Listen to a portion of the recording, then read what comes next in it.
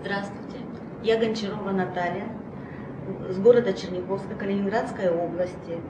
Моя семья выиграла миллион рублей в государственную жилищную лотерею.